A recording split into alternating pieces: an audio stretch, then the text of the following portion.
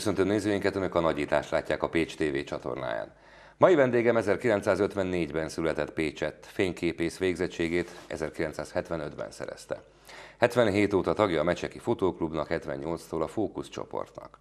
Fotóiból önálló tárlatokat rendeztek Pécset, Baján, Budapesten, Berlinben, Bécsben és Selmecbányán. Több rangos elismerése közül is kiemelkedik az 1996-os Magyar Fotó Biennálén a portré kategóriában elnyert fődíj.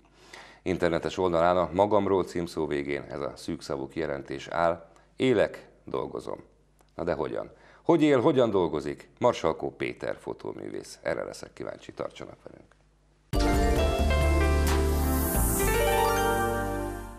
Egy kicsit furcsa helyzetben vagyok. A nagyítás egy olyan műsor, amiben fényképeket nézegetünk, és azokon keresztül igyekszünk egyfajta emberi portrét felvázolni a meghívottakról. Fényképeket nézegetünk élethelyzetekről, jellemző vagy ellesett pillanatokról. Vendégeim ebben a műsorban eddig zömmel olyan emberkék voltak, akiknek a fényképek az életük egy-egy pillanatát örökíti meg. Mai vendégem számára azonban gyanítom a fotó jóval több. Nem egy pillanat lenyomata, még csak nem is az életének a fontos része, hanem megkockáztatom, aztán majd a műsor végére kiderül, majd hogy nem maga az élete. Köszöntöm a stúdióban Marsalkó Péter. Én is köszöntöm. Szervusz. Szervusz. Na hát jó nagy öngolt lőttem, ugye? Úgy tűnik nekem egy ilyen fényképnézegetős műsorba beinvitálni egy fotóművészt, na hiszem. Hát megmondom őszintén, hogy gondolkodtam a nyitó szövegemen, és az én korosztályomban ülhetne itt bármelyik fotós barátom, tehát én annyira itt érzem magamat Pécset otthon, annyira jól érzem magamat a, azokkal a barátokkal, akikkel kezdtem, és hát azok, uh-huh. akikkel kezdtem a mai napig is a barátaim, a mai napig is összejövünk, a mai napig is fotó, fotóról beszélünk, fotóművészetről beszélünk, és van jövőképe ennek a fajta dolognak, mivel hát tudod, hogy a fókuszcsoportnak vagyok a tagja, uh-huh. és hát úgy néz ki, hogy a, a jövőben felkértek egy neves képzőművész és fotográfiai múzeológust, aki a fókuszról egy könyvet is adna ki, és szerkesztene, úgyhogy van itt munka bőven, hát és hát is. azt hiszem, hogy, hogy ennek meg kell felelni. Hát beszélünk majd a jövőről, és ne szaladjunk most ennyire erőre. Engem az érdekelne, hogy lehet-e valaki fotóművész, én téged annak tartalak, és ezzel nem vagyok, nem vagyok, nem vagyok ezzel egyedül. Hát lehet-e valaki úgy fotóművész, hogyha ha nem jó mesterember, hogyha a fotózásnak a szakmai részét nem sajátítja el? Hát nézd, túl konzervatív vagyok ehhez a kérdéshez. Tehát itt, hát itt mondd, hogy nem. Hát nem, nem lehet. Nem lehet. Tehát itt, itt egy zsákutca van a mai rendszerben, ugye, mert hát azt, azt vett figyelembe, hogy azokat a képanyagokat, amiket én elküldtem neked, hogy megmutassunk ugye a képernyőn mm, keresztül, azok mind filmre készültek. Uh-huh, uh-huh. Tehát most gondoljál bele, hogy ma az én konkurenciám 20-30 évvel fiatalabb generáció, akiknek semmilyen film múltjuk nincsen. Tehát eh, olyan jellegű tapasztalataik nincsenek, hogy fejben vagy egyáltalán a géppel tudjanak együtt uh-huh. dolgozni. Ha nem tudják hátul az LCD-t megnézni, hogy mit exponáltak, akkor ma nagyon nagy bajba lennének ezek a fotográfusok. Meg hát mi mindent lehet csinálni egy digitális fényképen. Hát, nem, eleve nem kell nagyon komponálni, mert aztán majd kell. úgy vágod hát, ki, hogy akarod. Semmi, ott van a, a, a Photoshop mester, uh-huh. és az, az annak idején volt a az egyik barátom mondta ugye, hogy egy korjelenség, hogy eh, a mai fiataloknak a Britney Pierce az anya, és a eh, Guns N' Roses pedig az apja, tehát itt a fotónál is ugyanez van, hogy ott a Photoshop, ott a digitális kamera, tehát nagyon a mestert nem nagyon kell uh-huh. ma megnevezni, mivel elmegyek egy Photoshop tanfolyamra, és ott 5-6 órás ciklus folytán fotósság képeznek. Ma már nyitnak a városban fotótanodák. Hát fotóság, de nem biztos, hogy fotóművész. Igen, hát csak... nem árt, hogyha az ember tud fényképezni. Nézd, a fotóművészé egy város teszi az embert. Tehát ezt, ezt, ezt ja, úgy, ez tehát, pécsiként, de jó. Igen, tehát ez, én, én azt hiszem, hogy egy közösség teszi ezt a fajta dolgot, és, és nem annak a fajta szemlélet, hogy valaki mondjuk a tengerparton barami jó képeket tud csinálni. Most én ebben a műsorban itt a kontrasztokra fogok rájönni, majd, rá, majd megért, megérted, hogy mire gondolok, mert most is téged látunk itt Igen, a hát ez, ez Aztán volt az, az első fotó 1970 ben érettségiztem, ugye 72-től ment, 72-től 74-ig érettségiztem, vagy nem is tudom már, várjál. Még két évig érettségiztem. Nem. 75-ben kaptál fényképész fizetséget. Akartam kérdezni, ez... hogy azt hogyan, azt hol, hol adják azt? Hát kérlek szépen, én nyomdaipari fényképészként végeztem. Itt, itt a Pécsi Szikra nyomdában, amit most itt igen, bontanak, igen. ez gyakorlatilag 72-től 74-ig voltam én uh-huh. fényképész tanuló, és ez 72-ben készült ez a felvétel. Uh-huh a nyomdaipari, akkori favázas nyomdaipari uh-huh. fényképezőgép. Akkoriban azért a 70-es évek közepén, meg a végén sok minden forrongott. Az írók, költők, képzőművészek, zenészek, rockzenészek hát, főleg, persze. össze is jártak, össze, hát, összetartottak, persze. próbálták feszegetni ennek az egész akkori rendszernek a, a határait, így látom én így visszanézve, ez, ez hát, látok is hát itt volt. volt. Hát itt volt a vendéged, a Stony, ugye? Tehát ugye, ugye ott volt Komlón az ötletzenekar, tehát itt, itt olyan élet volt, itt volt a Pécsi Balettól kezdve, uh-huh. hát a képzőművészeti műhelyektől kezdve, hát itt azért brutális szintű emberek voltak, és, uh-huh. és az a baj, hogy ezeknek a zöme elment ebből a városból, és akik itt maradtak, azok mondjuk én nagyon nagy büszke vagyok hát azokra az emberekre, akik itt maradtak, és hát itt dolgoznak, és mesteremnek tekintek. Tehát és hát volt egy merész alakulat a fotózásban, és ezt látjuk most. Ez Igen, a, ez a fókuszcsoport. Ez a fókuszcsoport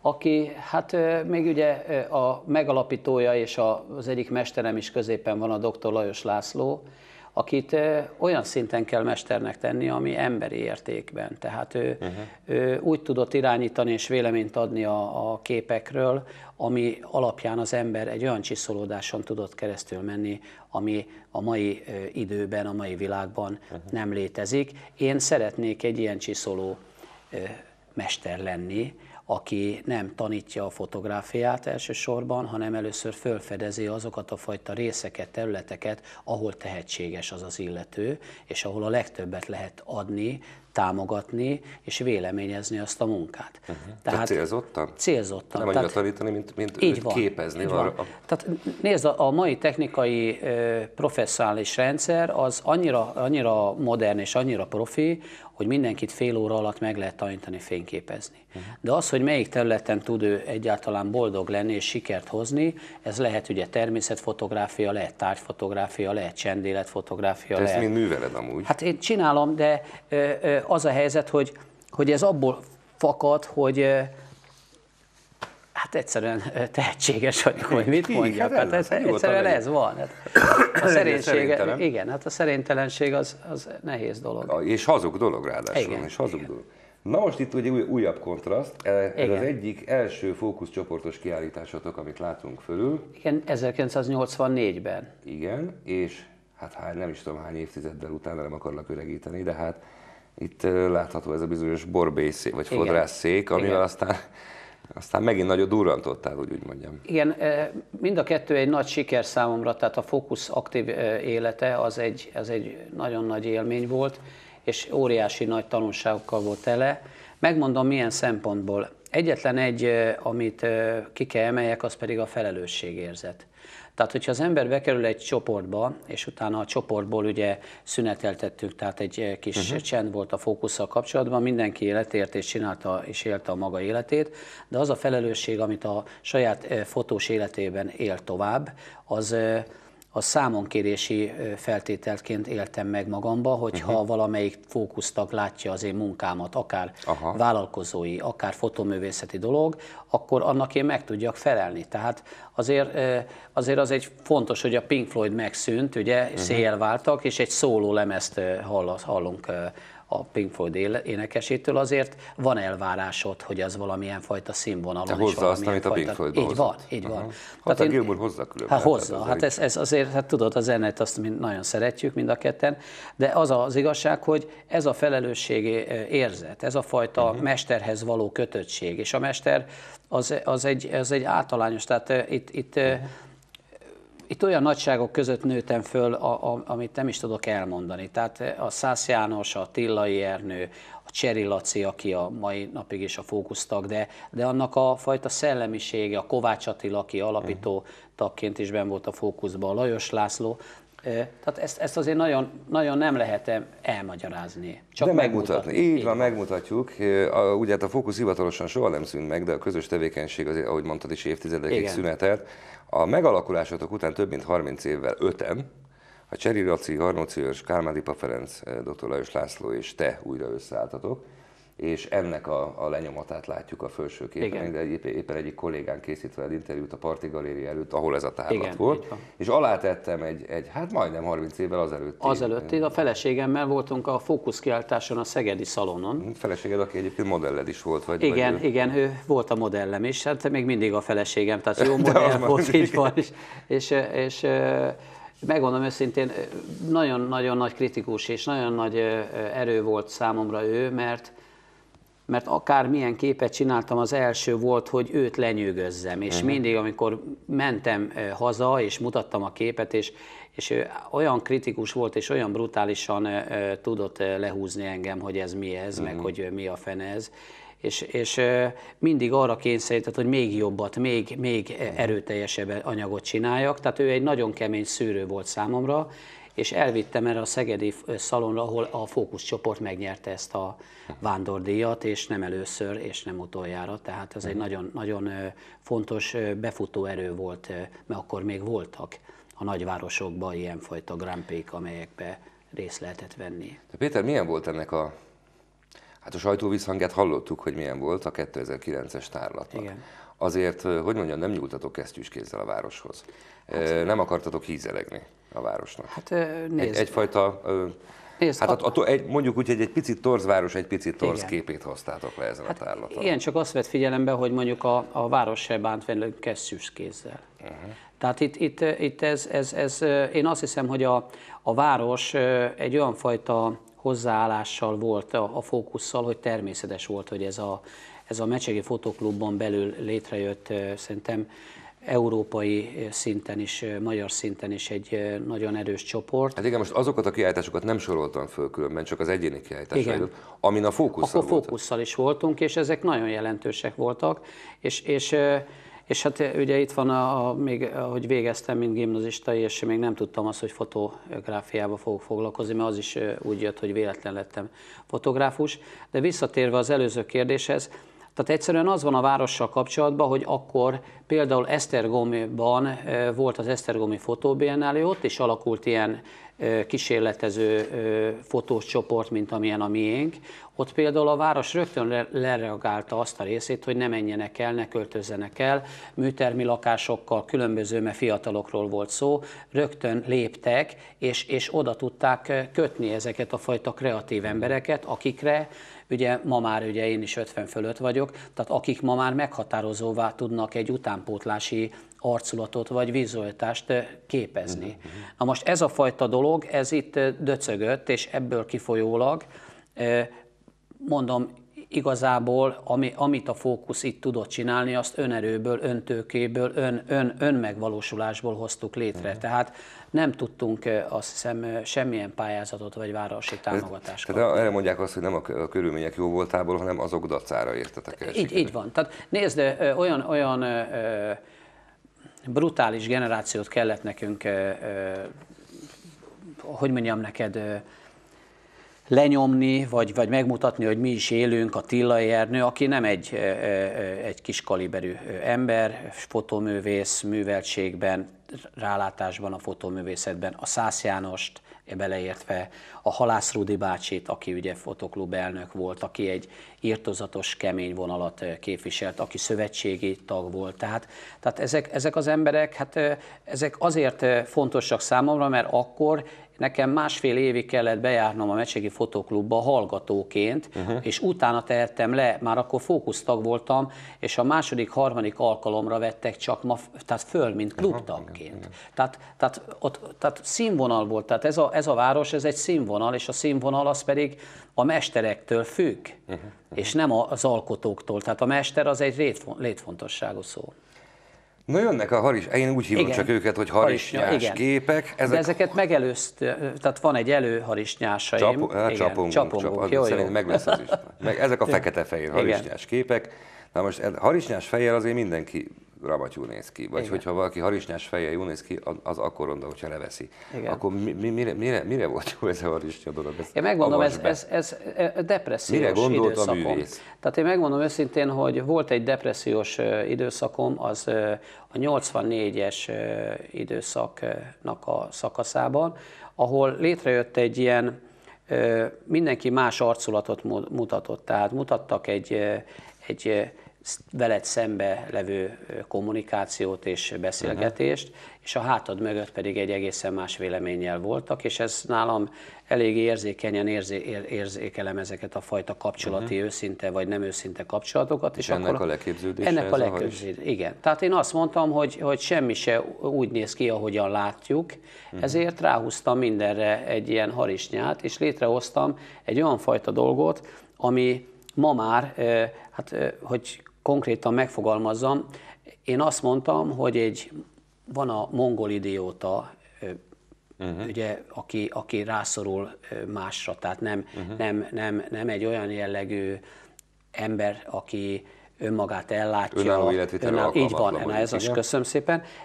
Ő nem gyárt atombombákat, nem akar elpusztítani senkit, uh-huh. tehát ezzel szemben mi, aki mindenhez értünk, egészségesek vagyunk, jól, normálisan gondolkodunk, éppen az ellenkezőjét csináljuk, és ezért csináltam ezzel a piros harisnya és ez az újjászületéssel egy atomháború utáni ember újjászületési uh-huh, elképzelést, amiben egy ilyen keresztül egy egy megszületésig, egy emberi válásig levő dolgot próbáltam megcsinálni, ami létrejött olyan fajta tekintetben is, hogy megcsináltam ezeknek a lényeknek a vizét, a levegőjét, megfotóztam ezeket a részleteket, és hát a, ezzel a képanyaggal nyertem Esztergom, Esztergomi Fotobiennálén nívódíjat, egyszer a fókuszcsoporttal, egyszer pedig önállóan, és azt tudom mondani, hogy ez meghatározta nekem egy, egy ilyen véleményformálásomat, amit a 2009-es fókuszkiáltáson ezeket a fekete-fehér uh-huh. képekben ugyancsak depressziósként, mint Európa kulturális fővárosának a,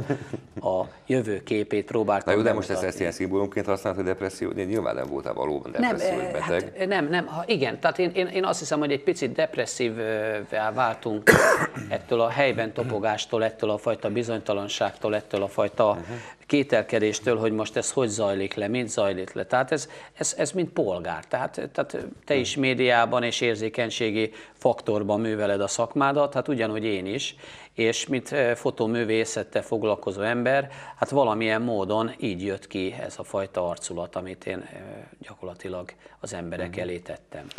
A, a fények, én úgy látom, hát lehet, hogy ez minden jó fotóművésznél így van, de hát én úgy laikusként mondom ezt, hogy, hogy nem, nem arra valók, hogy a tárgyakat megvilágítsák, hanem, hanem mint hogyha a kompozíciónak ilyen szerves részét képeznék. Az, hogy nálad például, hogy akár a háttérben is, vagy, vagy, vagy a modell, vagy a tárgy, amit leképezel, hogy az hogyan van megvilágítva, hol vényesebb, hol, hol sötétebb. Nem tudom, jól, jól mondom, mert tehát, tehát nem, nem egyszerűen arról van szó, hogy mint most itt minket ezekkel Igen. a lámpákkal megvilágítanak, mert ez az a lényeg, Igen. hogy mindenhol meg legyél világítva. Hanem a, a te fotóidon a fénynek van egy, van egy szerkezeti jelentősége, tehát hogy hol van fény, meg hol nincs fény. Hát igen, ez tehát a, a része igen, a, a kompozíció. Ez, ez, igen, ez, ez, ez a filmre való fényképezésnek az iskolája. Tehát ma a digitális technikában, hogy gondoljál bele, hogy a 100 asától a 24 ezer asáig tudott tekerni a fényképezőgépnél a fényérzékenységet, és akkor rendelkezésedre állt a 100 asás filmen keresztül a 400 asáig, uh-huh. gondold csak azt el, és, és ma ez a határ ez már 24 ezer asáig is kiterjeszthető. Uh-huh. Tehát mi történt? Létrejött egy új generáció, aki fény nélkül, tehát a fényt gépen keresztül próbálja megvalósítani, és van egy olyan ősi lelet, mint én, aki azt mondja, hogy fény nélkül nem lehet fényképezni. Tehát a fényt, mint ecsetet próbálja használni. Na ez, az, ez a jó És, és ez, a, ez a fajta dolog, ez, ez egy nagyon, nagyon fontos dolog, mert, mert gyakorlatilag a fény növelni, a fényt levenni. Hát most gondolj bele, Hollywood arra épült a fekete-fehér világba, hogy, hogy a teljes cowboy és teljes tengeri csatáktól a, a bármiig fekete-fehérbe a stúdióba világították uh-huh. be ezeket a dolgokat. Tehát hihetetlen nagy tudás a fényjel bánni, és ezt a fajta iskolát, ezt a fajta megtanításhoz kellenének azok a fajta mesterek, akik nem a digitális korszaknak a, a hogy mondjam, idejébe születtek. születtek így igen. van, így van. Tehát, tehát én nekem meggyőződésem, hogy a fotoművészet az nagyon gyorsan vissza fog menni a filmnek a világába, uh-huh. mert értékesebbé válik, és, és, és ez a digitális technika ez értéktelenebbé tette a fotográfiát szerintem. Na hát azért nem csak a fénynek, itt a sötétnek is vannak Igen. jelentései. Itt, itt, itt érdekes, hogy mint ha szeretnéd a torzarcokat. Igen, én tehát tudom, ez, ez, ez van. Tehát, nem baj, tehát csak mondod. Én, nagyon, nagyon, hát én a szűzérében születtem, és nagyon érzékeny vagyok, és én, én nekem ez az időszakom volt egy ilyen maszk sorozati, egy eltorzított időszakom, ahol egyszerűen az emberekkel volt problémám. Tehát én, én, én Hát nagyon jó tudod, hogy a 60-as, 70-es években ugye volt a bitkorszak, és voltunk fiatalok. Ott, ha nekem volt 100 forintom, akkor ott másnak is volt 100 forintja, mert tudta, hogy ha nekem van söröm, akkor abból uh-huh. ő mhm. is tudott inni. Tehát egy olyan világnak a rendszerében nőttem fel, ahol a beszéd, a kommunikáció, az egymással való kapcsolatunk sokkal őszintébb volt, sokkal tisztább volt, és ezt, ezt hihetetlen, de ezt, én, én ezt a nagy váltást, ezt az, az egzisztenciális külsőségeknek a jellegét, én, én ezekkel a fotókkal próbáltam, mint egy ilyen felkiáltó jelet, érted, hát, hurcolni, és meg, azt mondani, hogy... expresszív, tehát nagyon kifejezőek igen, hát ez, ez, én ilyen kifejező... Mondjuk én nem tudtam, hogy ez van mögötte, hogy, hogy ez volt, a, ugye mit, mit gondoltam, ő gondolta a fene, igen, ugye igen, van persze. ez a mondás, de hogy valamit nagyon el akarsz mondani, akkor, akkor, akkor gyakorlatilag már át is jött az üzenet, mindegy, hogy, hogy pont azt, amit Igen, el tehát, tehát én nekem nagyon fontos a becsület, nagyon fontos az adott szó, nagyon fontos a tízfillér pontos elszámolás, tehát nagyon sok olyan érték van számomra, ami, amelyek föntartják az én élet és jövőképemet, és a fotoművészetben is ugyanúgy gondolom, hogy ezeket a fajta dolgokat, amelyek engem bántanak, vagy engem érzékenyen érintenek, azt ilyen szélsőségesen fotózzam meg. Hát ilyen alkat vagyok. Tehát nem tudok ablakokat, nem tudok virágszírmokat fotózni, nem tudom kivárni, hogy a béka bekapja a szunyogot. Én, hát egyszerűen ez van. Hát most, most ezért vagyok ott, ahol vagyok, vagy ez, ezért vagyok marsalkó, tehát nem tudom, tehát ez van. Olyan nem is szokott lenni, mert a képeid nagyobb része ha, ha nem veszed sértésnek, mert nagyon nem annak szán, szánom, beállítod, vagy megkomponálod. Igen, igen. Nem az történik, mert valaki úgy fotózik, igen, igen. jön, megy az utcán, állandóan a nyakában van a fényképezőgép, igen. és lát valamit, akkor vagy sikerül lecsipni, vagy nem. Igen, tehát tehát nem bízod ezt a véletlenre. Nem, nem, nem. Ez, ezek, ezek egy, egy, egy nagyon hosszú előkészület és nagyon sok felhalmozódási rendszerként jönnek. Hát előbb láttuk azt a saláta, ugye. Igen, azt nem is értem azt a Hát az, az, az történt, hogy, hogy annyira föl vagyok háborodva, fölháborodtam a rég régen, mikor az uh-huh. készült, az utak állapotára és azokra a fajta elhanyagoltságra, hogy azt mondtam, hogy hát közlekedni nem lehet rajta, szántsuk föl, ültessük be, és hasznosítsuk. Tehát, uh-huh. tehát egy, egy ilyen humorszerű kritika volt számomra, ezzel nyertem én már hogy azzal? A azzal a salátással nyerte meg Lakti város fődíját, tehát uh-huh. ez egy nagyon érdekes dolog volt. És amit itt látunk, a Gyula bácsi, ezzel nyertem meg 96-ban a Magyar Fotó Biennálét, aminek az érdekessége az, hogy, hogy nincs második, harmadik helyezett díjazott, uh-huh. hanem csak egy kép kapja meg ezt a díjat, és jeligére lehetett erre ö, ö, ugye jelenkezni, és egy másik nagyon fontos, hogy ez a képanyagom, ami három képből állt, ez egy évvel ezelőtt pályáztam a Mecségi Fotóklub fotópályázatán, és az első körbe ki, kidobták, tehát kirúgták, és, és a naitások a hálószobában mindig ott a feleségem takarított, hogy, hogy miért van ez itt, és volt ez a kiírás, ez a Fotó Biennálé kiírás, hogy portré kategória, és én leragasztottam ezt az zacskót, és elküldtem és álmomban nem gondoltam volna, tehát nem arra készült ez, a, ez az anyag, de álmomban nem gondoltam volna, hogy ilyen, ilyen hatalmas nagy siker, vagy ilyen történik velem. Tehát. Hát további hatalmas nagy sikerek tömkellegét kívánjuk mi neked, Péter, személyesen én is. Jól elbeszélgettünk, nem? Hát Tibor, veled bármikor. Nagyon aranyos vagy. Köszönöm. Köszönöm még egyszer, hogy itt voltál. Engedd meg, hogy így a műsor végén az eddigi adásokból egy kis válogatást, egy kis kollekciót átadjak Nagyon szépen neked. köszönöm. Én azért sem kérek érte viszonzást, mert te már megajándékoztál Igen. ezekkel a, a, fotókkal. Köszönöm, és engem is, és a megtiszteltél ezzel a meghívással. Köszönöm szépen, hogy itt voltál. Köszönöm is. Nézőinknek pedig köszönöm, hogy velünk töltötték ezt a fél órát, nézzenek minket legközelebb is, és hogyha lemaradnának valamiről, hát tudják, műsorainkat megtekintetik a Pécs TV honlapján, a videótárban is, és azt se feledjék, ami ugye mottónk, hogy legyenek mindig kíváncsiak. Viszontlátásra, szervusz! Szervusz!